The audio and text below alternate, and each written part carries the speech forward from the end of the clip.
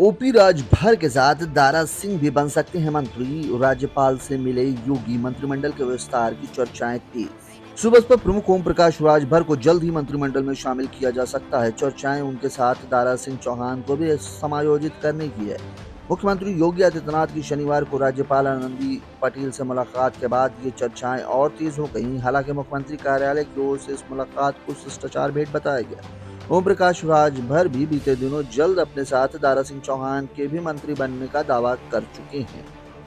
विधानसभा चुनाव में सपा की सहयोगी रही सुबसपा हो या फिर सपा प्रत्याशी के रूप में घोषित सीट जीतने वाले दारा सिंह चौहान दोनों ने ही बीते दिनों पाला बदल लिया था। सुबसपा के एनडीए में शामिल होने के साथ ही राजभर का प्रदेश सरकार में मंत्री बनना लगभग तय माना जा रहा था, ठीक ऐसे ही स्थिति दारा सिंह चौहान को लेकर भी थी मगर घोसी सीट से बीजेपी प्रत्याशी के रूप में दारा सिंह चौहान की करारी हार के बाद उनके राजनीतिक भविष्य को लेकर सवाल उठने लगे। तीन दिन पूर्व उन्होंने दिल्ली में बीजेपी के केंद्रीय नेताओं से मुलाकात कर चुनावी हार पर अपना पक्ष रखा।